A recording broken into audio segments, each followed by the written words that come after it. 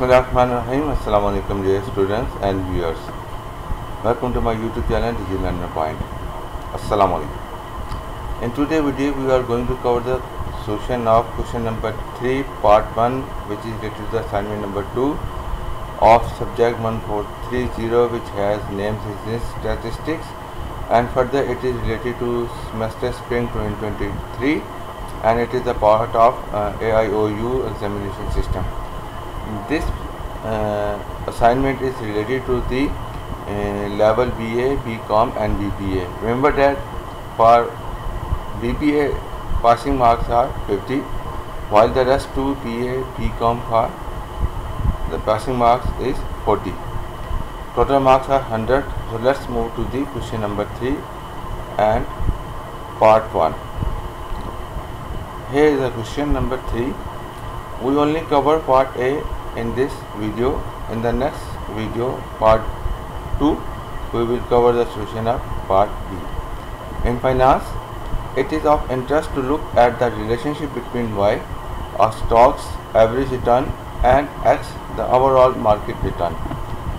Let's suppose overall market return means you can say from an example from the Pakistan KSE 100 index the overall market return yeah, hundred index और all index all share index in Pakistan stock exchange the slope coefficient computed by linear regression is called stock's beta by investment analysis a beta greater than one indicates that the stock is relatively sensitive to changes in the market a beta less than one indicates that the stock is relatively insensitive to change in the market for the following data.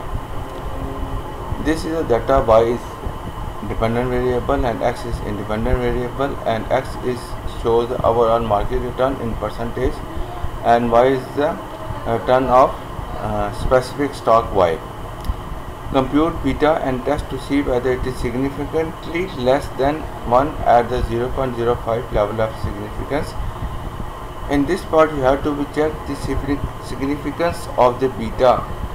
Means that if the value of beta is less than 1 it will be significant or means sensitive or insensitive or insignificant.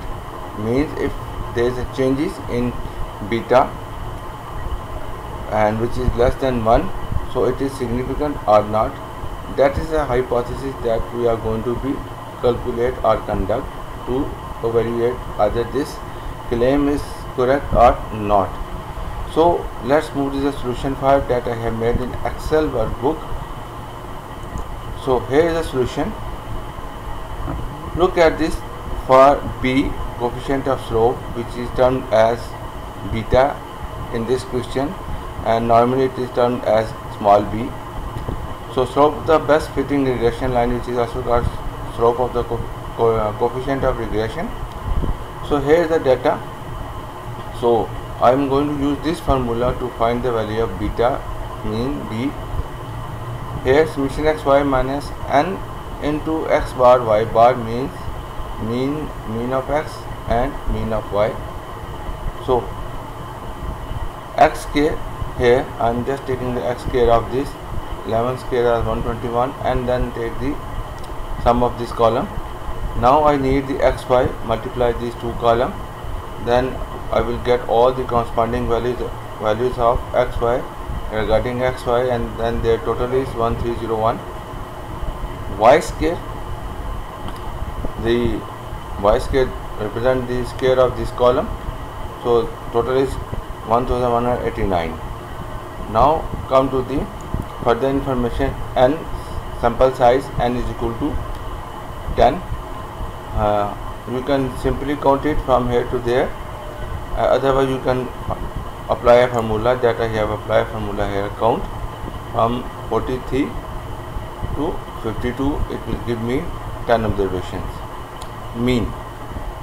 Simply average formula. Otherwise you can divide this. 107 by 10 you will get 10.7 and 113 by 10 you will get 11.3 mean of x. Now beta to find out the value of beta I have used this formula. Earlier I have told you that. So just putting all these values in this formula you will get this value 0.41008 or 0.4101 okay. Now we need to find the value of intercept a.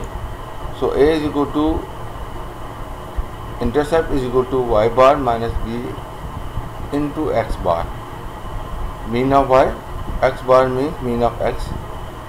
By putting all the element values in this formula we will get the value of a 6.06606 or 6.007 if you want to keep uh, decimals on two places now I am going to be establish my hypothesis. Step 1 h naught is equal to beta less than 1 we are going to evaluate or check the significance of beta if its value is less than 1 so at 0.05 level of significance b less than 1 beta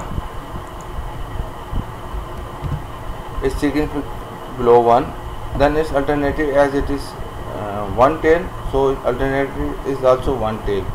H1 is equal to alternative hypothesis b greater than equal to 1 opposite of h0 step 2 alpha is equal to 0.05 or 5 percent level of significance.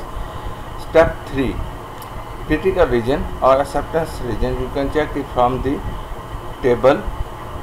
Degree of freedom is 8 10 minus 2 because two variables are involved here. Two means are involved here. 0.05 minus 1.860 then p value is not 1 is 0.0999 how I will get this? Look at this.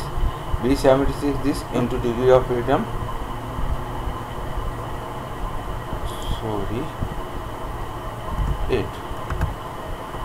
let me check again. Yes so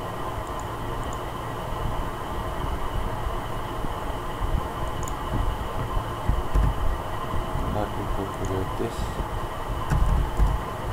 To this one. And it. It shows me one. Okay it's one. We take it as one. 100 percent one one means 100 percent. Step 4 t beta minus 1 divided by sb for SB we use this formula SE our estimation x square minus n square here S is for SE we are going to use this formula. So I am going to use use this formula SE 0.89535 and SB we will get this value. By putting all these values into the element formula T we will get the value of T is equal to minus 9.863 conclusion? We have made conclusion or we are going to make decision on the basis of two criteria one based on critical value or based on the p value. Critical value minus 1.86 greater than minus 0.9863 which is opposite of the uh, null hypothesis so we reject h naught. It means if the beta value is less than 1 it is not significant or the assumption that we have made if the value of beta is less than 1 it is significant. Based on p values which is equal to 1 greater than correct this one please. 1 also greater than 0.05 therefore we can't accept h naught meaning. We haven't found any evidence that show significance of beta its value is below 1 i hope you will find this solution uh, useful for your assignment if you found any error regarding uh, typo mistake or regarding calculation you can uh, correct it in the comment section. Otherwise if you have any question you can ask me in the comment section. If you want to add something from your side please drop your suggestion in the comment section. If you found this video useful please hit the like button and share with your friend. Thanks for watching. Assalamu